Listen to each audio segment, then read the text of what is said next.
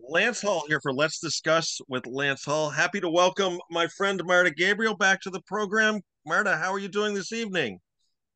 I'm doing fine. Thank you very much. I, in general, I spent awesome day today. The weather was so nice. I visited my horses in the barn. So yeah, the day was pretty, pretty good today to me. That is a good day. It was a nice day over here too. We we've been real hot and humid. Today was warm, but it wasn't humid, so that was good. Here in Poland, it's warm uh, as well. Finally, mm. because you know I hate winters. I don't like autumn. Spring, well it might be if it's not raining but summer summer is something totally for me you know i could live in spain in portugal or greece or some you know um in those countries where it's permanently warm and hot this is weather for me. I know some people don't like when it's hot. I love it. All right. Well speaking of hot let's talk about this new album that crystal viper has out the silver key which is definitely you know, I thought it was going to melt my computer by the time I got done listening to it. Uh, fantastic album. Thank you very much. Yeah, it's uh, the the even the cover art is uh, the the the paint on the cover art isn't dry yet. yeah. uh, yeah, we have release date on Friday, so yeah, we are all very excited, and actually we will be celebrating a release date of this album uh, during our um, travel to France because on Saturday we play on Hellfest. Oh wow! All right, yeah, and, and we will have a lot of time at the airport because we need to get there by two planes. So right. uh, a time bef- before uh, between first one and second one on the airport, it will be like four or five hours. So there right. will be some time to. yeah, I'll give you plenty of time. Yeah. Yeah. New album Silver Key coming out this Friday, June twenty eighth on Listenable Records. Let's get that in as well. Uh, follows up 2021's The Cult uh, both albums inspired by H.P. Lovecraft. You, you like uh, you like Lovecraft stuff? Well, I like it that much that I'm really seriously thinking about making part three. Next wow. Crystal Viper album, also inspired by Lovecraft. Um, stories and novels. Yes, I'm a huge fan of Lovecraft. I really like reading his stories and novels, but I won't lie to you, I wasn't uh, familiar with his writing for a uh, for many years actually. Mm. Um, I first um, read I read his first stories. It was not very long time before the cult actually Okay. Um, in general, I like reading books. I read a lot, and I read in in every free moment that I have, mm. and as well as my husband. So he actually know what kind of books I like, and one day he simply told me that I should try to read something from Howard Phillips Lovecraft, and I was like, ah, nah. I because you know I knew this Cthulhu monster from the sea, and I wasn't really interested in that. And he told me it's not only about the about that monster from the sea, about the Cthulhu. Yeah. Just take a peek at, and he recommended me the the story, The Dreams in the Witch House, and this was the very first story from Lovecraft that I read and it completely blown my mind. Man, I was so surprised that I can read some um, that there is some so many cool stuff still mm-hmm. in science fiction, horror science fiction that I I I I just was I was speechless. Uh, so after the dreams in the witch house, there was another story and another story and another story, and yeah. then I was already working on the cult.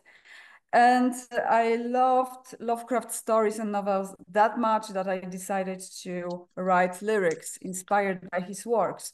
And when the cult was released, I was keep on composing music, I was keep on writing lyrics, and I was keep on reading his stories because he wrote lots of stories. And I even recently discovered that he was writing poems some couple of months ago. I got another book uh, with poems from Howard Phillips Lovecraft. So yeah, I was I was work, working on the Silver Key, keep on reading Lovecraft, and that was so obvious to me. You know, that was I mean, finishing work, working on the cult and jumping into the writing material for the Silver Key and mm. staying under this inspiration umbrella from, from Lovecraft. It was like never, I felt like I've never left Providence for real, you know? Yeah. So, so yeah, here we are with the new album of the Silver Key, again, inspired by Howard Phillips Lovecraft. And um, mm.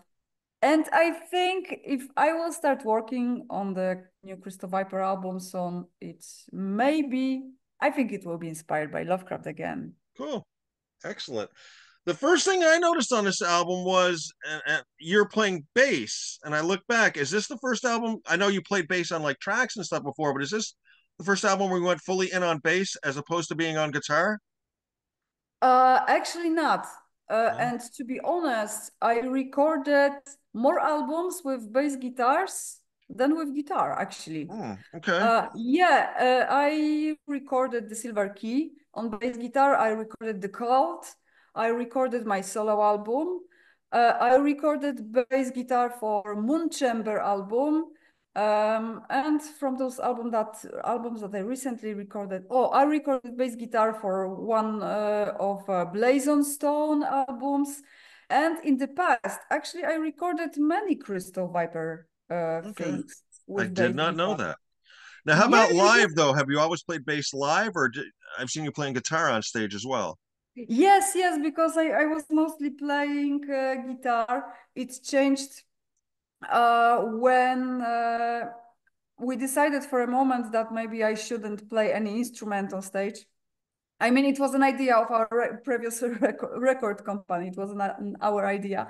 Yeah. Uh, but we decided to change that to give it a try. And then we needed second guitarist because, because if I quit playing guitar, we had to look for someone else. Uh, right. Uh, and we uh, and then Eric joined the band on second guitar, and we still have Blaze on bass guitar. And we were playing like that for a moment. And the truth is that I hated to perform without instruments in my hands. Hmm. It was it was simply horrible to me. I, I felt like I'm lying to myself, I'm lying to fans, I'm lying to everyone because, you know, at the end of the live show, when I was going off stage, I didn't feel like I did a great job. You know, it was like, yeah. eh, it was okay, but I I didn't feel that energy on stage. I wasn't that excited, no adrenaline in veins, you know. So I told the guys from my band that I want to I want to be back on guitar. So there was a period of time with Crystal Viper that we were playing on three guitars and bass guitar because there was Eric, Andy, and me on third guitar and Blaze on bass. Uh, but um, not that long ago, our uh, bass guitarist, um, our bass uh, Blaze, mm-hmm. uh, due to his life situation, he had to quit the band, and he told us that he's planning to quit the band. That you know, give us time to look for someone else. And sure. um, the truth is, we really didn't want him to leave because over oh, for during all that time, he was in the band. We, we became a very, very good friends. And I really liked to work with him, you know, in Crystal Viper on stage and so on. Mm. But after he left the band, we decided to not look for someone else, but I decided, I mean, I'm, I decided, it wasn't only my decision. We decided to give it a try with me on bass guitar because the truth is, I am playing bass guitar as long as I play guitar because I was learning playing those instruments yeah. all together when I was composing Crystal Viper songs in the past and I was recording demo songs. I was learning playing both instruments to be able to record arrangements for, for the demos of the songs. Yeah. So I gave it a try with a bass guitar on stage. And on the beginning, it was pretty, pretty hard for me because, you know, most of people would say that ah, right now it should be easier for you because, you know, you play bass, less strings, less effort and so on. But it's not true. It's not true. When you sing and play, for example, when you play guitar, you can pull one chord.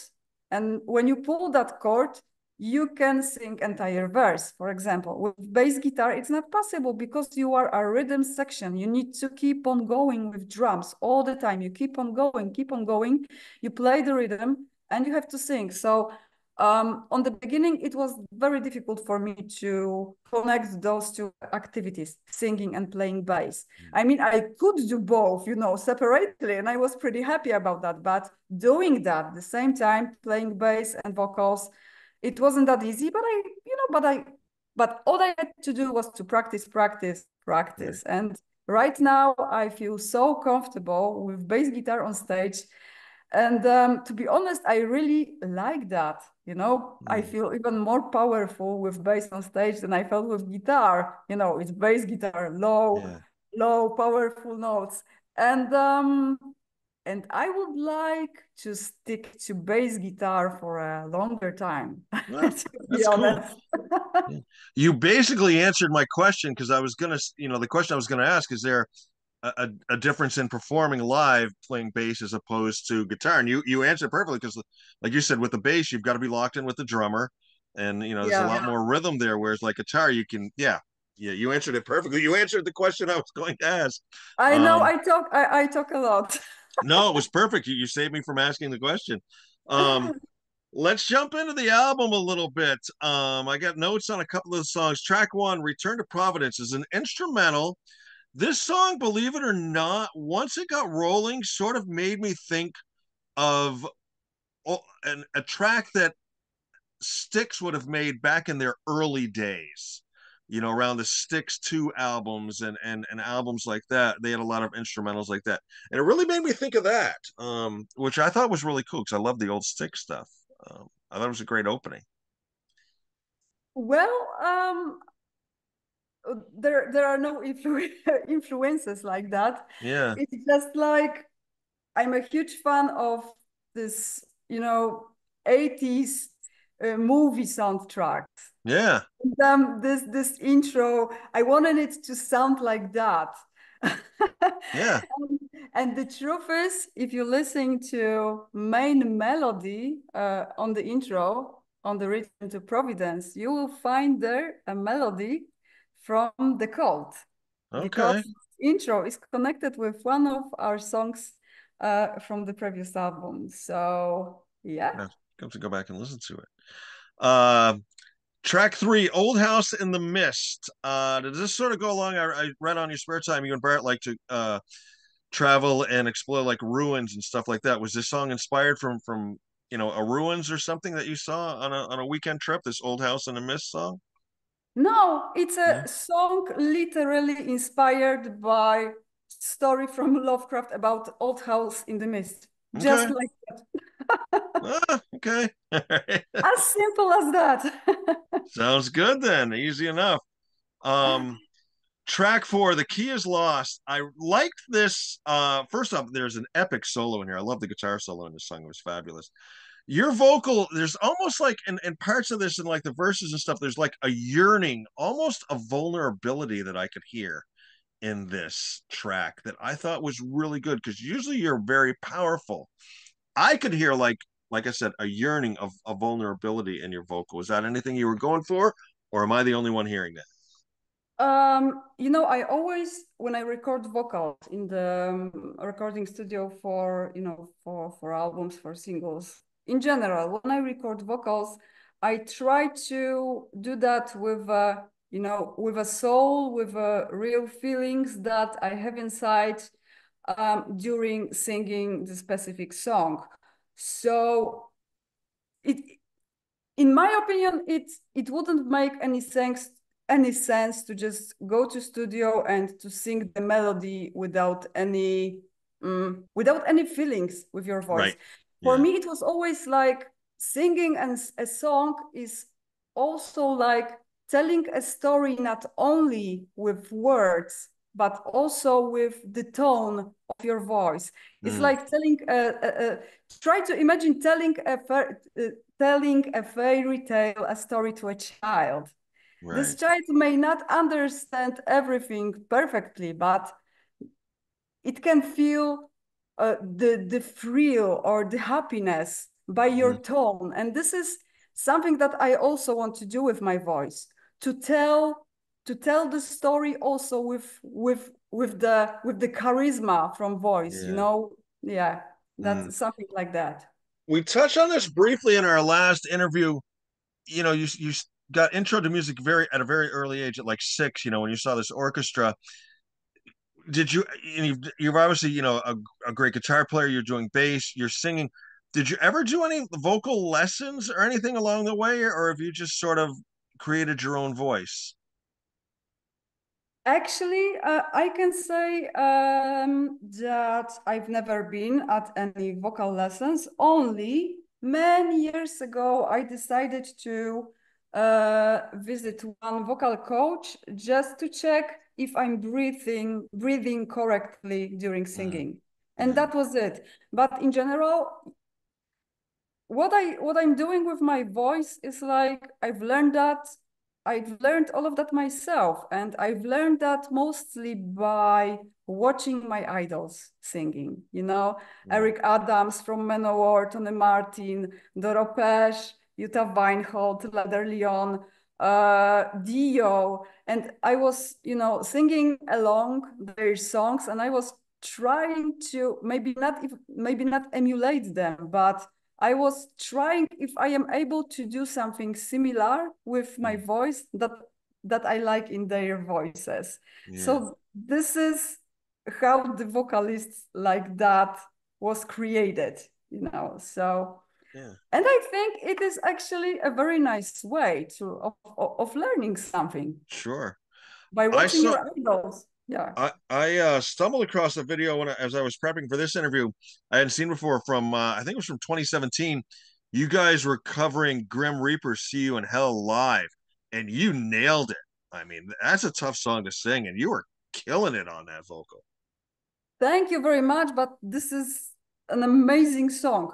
Yeah like and I really like Grim Reaper. If I only could, I would record cover songs uh, from all, all, all of their, their songs, seriously. And I also felt like my voice kind of uh, match their songs, you know, and mm-hmm. sometimes because with cover songs is is always like that, always like that. There is a song that you want to record, but then you are recording it or playing it with your with your band and there are two situations. You are super happy with that and feels like, and you feel like it's almost your song or song composed for you.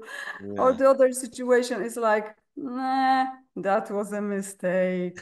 with, yeah, with Grim Reaper was the first one. It was yeah. like, I felt so comfortable while singing it. So yeah, it was a good idea. That's cool. To record it there was a, a couple of lines from the key is lost that I really liked. Um, it was I want to sail under the moon where the time falls from the glowy dunes. I love that that image right there. Um, I don't want to leave it all behind me. I love that those three lines. Those are fabulous. Um, those obviously Lovecraft inspired. Yes, uh, glad. I'm glad you like it. Thank you very much. Yeah. And um, if you really really like uh, the lyrics of the song, um, maybe try to read uh, Lovecraft stories uh, which are connected with the Silver Key in general, because yeah. there are few. I've tried to read him in the past. I find I have to do it in very small bites because there's so much to absorb. Yes, exactly. yeah, so much to absorb. Well, let's talk about track seven then, the Silver Key. Um, love the video for this. You're on Full Metal Cruise. Look like you're having a pretty good time what give us a little bit of a, a background on the silver key how that became the title track and what inspired it uh, well, firstly, uh, we were thinking about um, giving this album the title The Cult Part 2. Mm-hmm. Uh, because musically, to me, it's still Crystal Viper. Music, uh, lyrics are still inspired by Lovecraft. So, and everything you know from one album to to this one every everything went so smoothly and so natural that to me the idea of naming of giving a name the cult part 2 to this album was very cool. But we started to think about this and um, we thought that for people who never heard crystal viper before uh, starting listening to our music from album The Cult Part two, if they never heard part one, might Right. be kind of confusing. So uh, we decided uh, to change the title for the Silver Key, especially uh, because it's a cool song and we all we all really like this one. And um, on this album, there there are more uh, lyrics connected, you know, with the Mhm. Silver Key itself. Very cool. Um, the other track that really jumped out at me was Wayfaring Dreamer, uh, just a fabulous ballad. Um, and again, there were lines in here that I love. Wayfaring Dreamer, I'm on my own. So many mysteries, no one to guide me. I have to face all challenges alone. Um, I like that. You know, there's a poignancy to that, I guess is the word that comes to mind, you know? What can you tell me a little bit about Wayfaring Dreamer? Um, actually, I will tell you something pretty uh, interesting. Okay. Um, well, the Wayfaring Dreamer, uh, the song, as it is right now, this is how all of the Crystal Viper songs starts. On the beginning, all of them sounds like this. Mm-hmm. Because I compose, I still compose Crystal Viper songs mostly on my piano. Okay. And, and then I arrange them uh, for, um, you know, with guitar, with bass, with drums, and so on. I mean, when I'm creating songs, I most, I, um, in general, when I'm creating songs, I hear entire arrangement in my head. So from, so from very beginning, I know, um, I mean, I almost hear the final result. Result. Uh, really? That's that's Yes. amazing. Yeah, I call it musical schizophrenia. Okay. but yeah, I. Uh, but when I have this idea for a song and I hear it playing in my head, I quickly sit with my piano, uh, turn on recording button, and um, and I record the song with my piano, so it stays in my head and I'm not losing it somewhere because it happened many times in my life that I created a song in my head, I heard everything perfectly, and then it was gone because I didn't record it on time. So yeah, and Wayfaring Dreamer. Uh, to be honest, I really like this songs with this kind of atmosphere and uh, in this form, piano and my voice only. And maybe it would be a good a good idea for the future to record entire album like that. I don't know. Yeah, do like a symphonic something like that. Yeah, that'd be fabulous. Maybe not even symphonic, just piano in my voice. Piano? Yeah. I mean, if people, if people, if people will not like it, I will like it for sure. so uh, maybe I will record an album just for. Yeah. Yeah, we'll see. I would I would like it. I think it'd be great. Yeah. So you are the, the so you will be the, the the one the only one person who will buy it. So When you put it out, we will do an interview and we'll talk about it. all right. um I got to tell you though, my favorite track on the album as I'm listening through, I got the download with the CD bonus track of God of Thunder, uh, Wind and Rain. Uh, that classic metal sound on that, that was my favorite track. Um is, is this a, a new one? Is this something you had left over? How did it become the bonus track? Uh, Gods of Thunder, of Wind, and, and of Rain is a cover song, actually. I did uh, not know that. It's a song from Bathory. I did not know that. Yeah, it's a song from Bathory. Bathory is one of my favorite bands as well. Uh, do you know Bathory in general? Or... I know the yeah, I know the band, uh, but obviously not well enough to know that this was one of their songs. I'm almost Uh, a little embarrassed. I usually do a little more research than this. Um, uh, you know, it's not possible to know everything. It's Yeah. not possible to know everything and uh, to remember everything. I know it by just looking at myself that sometimes I don't even remember the titles of my own albums. So, yeah, it's not possible. But regarding Bathory and Discover song, right now you will. I you you you can make sure that I'm a fan of Bathory because Mm. the name of the person who was actually Bathory, his name was Quorthon. okay. And I even named my horse Quorthon. Ah, very cool. Yeah. Very cool.